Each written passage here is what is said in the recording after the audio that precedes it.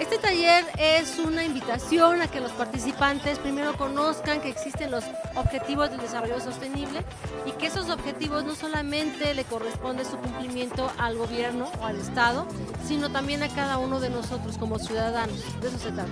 Bueno, los jóvenes se sorprenden cuando ven que estos objetivos sí les tocan directamente en su vida, en su futuro, en su familia y entonces el reconocer que estos objetivos tienen que ver con su persona, pues eh, les abre los ojos y les da las posibilidades para entender que hay que conocerlos y que hay que reclamarlos, hay que trabajar para cumplirlos.